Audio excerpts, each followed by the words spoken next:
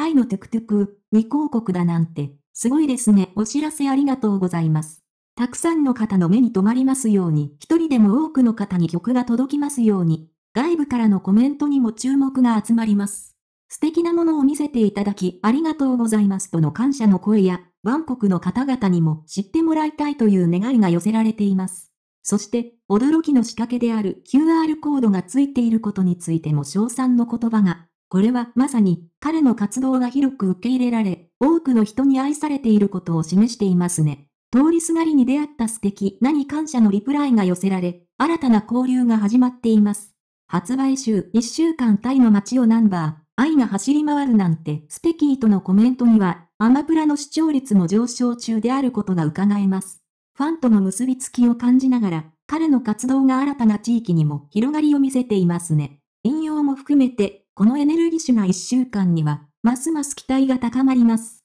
こうして、紫てるさんの魅力はただのファッションや美的要素だけでなく、コミュニティの結束を強め、新たなつながりを生み出しています。彼の魔法にかかったファンたちが、一緒に楽しむ喜びと感動が、ますます広がっていくことでしょう。こうした素敵な反応に、紫テルファミリー一同が喜びを共有していることでしょう。新たな CD がタイの街を駆け巡り、アマプラの視聴率も上昇中との報告も興味深いですね。紫テルさんの魅力が国境を越えてますます多くの人に知られていくことは、ファンとして嬉しい限りです。紫てるちゃん、その存在だけで心躍りますよね。空間世界観の中で繰り広げられる彼のダイナミックな一瞬に、言葉を失うファンが続出。身体のアライメントから首のロール、そして緩急止め、仲間を一瞬見る瞬間まで、その一瞬一瞬がまさに芸術のような美しさを放っています。口元や視線の落とし方、流れ目の表情表現力もまた圧巻。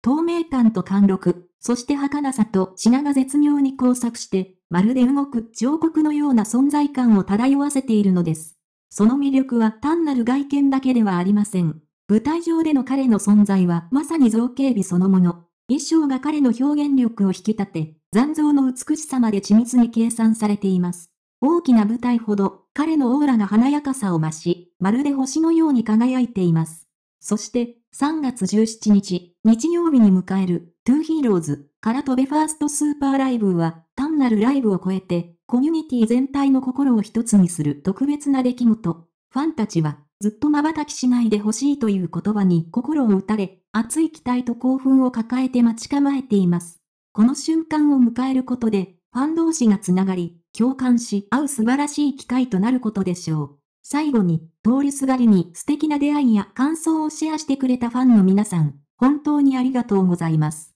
こうした交流が、紫テルファミリーをより結束させ、共感を生み出すきっかけとなっています。これからも紫テルちゃんの輝きを共有し、素敵な瞬間を一緒に楽しんでいきましょうね。